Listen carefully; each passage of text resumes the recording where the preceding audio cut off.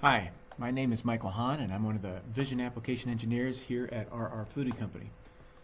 Sometimes when you're a first-time user with the uh, Cognex Easy Builder spreadsheet software, you need to set up the emulator key for your PC.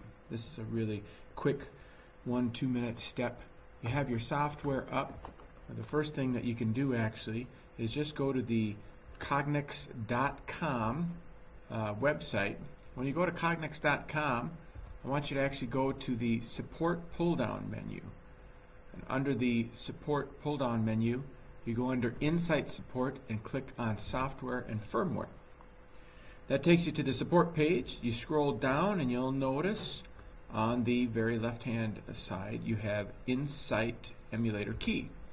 Click on that and that pulls up the four step process of you know getting your emulator turned on through your software. Pretty much uh, it's just you know RR Floody, signing in your name, and then to get the offline programming reference, you just go back to your software under System, under Options in the System pull down menu, and then click uh, Emulation.